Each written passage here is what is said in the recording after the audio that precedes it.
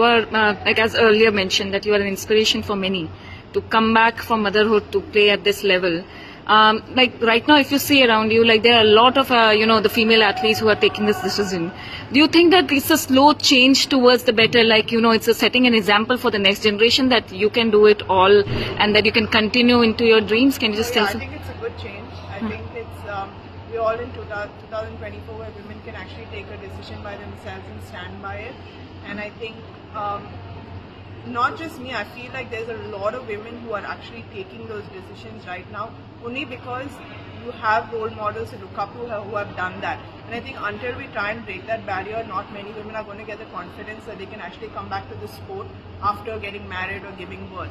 So I think it's um, I think it's it's a great it's a great thing that women want to take that decision and and at the end of the day if they don't want to come back they don't want to come back. But if they do I think the support also really matters.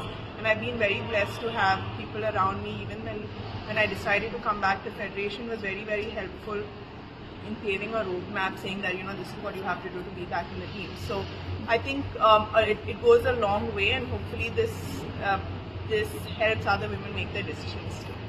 Uh, the fact that we have got multiple, like Mary Kom is there, Mirza is there, you are there definitely. Like to have that kind of, you know, role models within India, uh, do you think how much of a change that, especially for the, you know, female athletes, not only to pick up sports but to continue, I think how much of an impact that, does that See, make? I think the end of the day, it's about um, the people you look up to, right? You get inspired by them and you take a bit of inspiration. So I think if um, if women keep doing this and you know keep trusting the process and trusting their, their decisions, I think a lot more women will be able to do it for themselves. Um, I'm just a small example. There are hundreds of athletes who do this around the world, and I think um, it, it's a new era. It's a new era for women who've given birth, who, uh, who have kids, to come back and start their career from scratch. Uh, just last question for both of you. You both mentioned that the government has done a lot.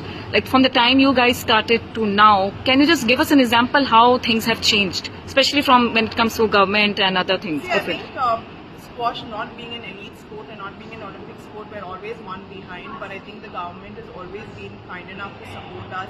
Um, you know, I've not been on the circuit for the last four years, so you know, obviously I don't have that connection anymore. But from whatever I hear, I know that uh, you know the government has been very helpful in funding them and having uh, we just had the World Cup in Chennai, so that's also a big promotion. So hopefully after this medals, I think it, hopefully it'll get easier for all of us to get that funding, um, and hopefully you know we can win more medals for the country.